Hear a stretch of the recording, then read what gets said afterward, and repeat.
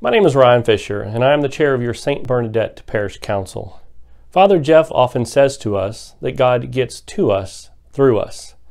In October, Father Jeff tasked the council with ways to encourage civility in our parish and to bring to life a United States Conference of Catholic Bishops nonpartisan initiative called Civilize It, a better kind of politics. But this initiative is more than just about politics. It is about empowering us to love others listen, respect, and learn while we strive to seek and promote the common good in all that we do, despite disagreement and the polarization and division we so often encounter in today's world.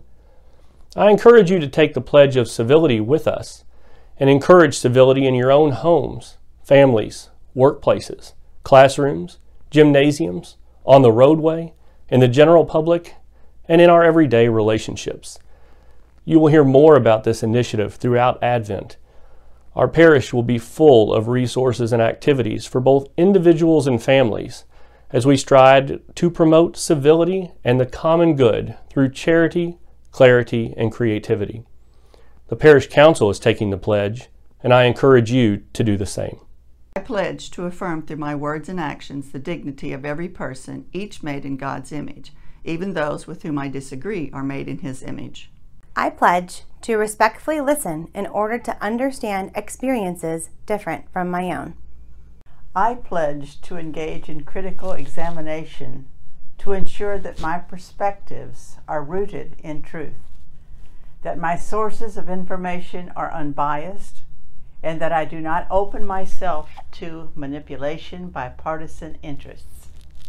I pledge to form my conscience through prayerful reflection study of Scripture and church teaching, and guidance from reputable experts. I pledge to reflect on my own values and to seek with others to identify shared values. I pledge to be open to a process of dialogue that can require a change of perspective, my own and others, in the service of the inviolable dignity of all and the common good. I pledge to be a bridge builder who participates in constructive dialogue based in shared values, a mutual exchange of gifts, and the humility to together seek the good. I pledge to see differences and perspectives as opportunities for creative tension, which can yield solutions for the common good.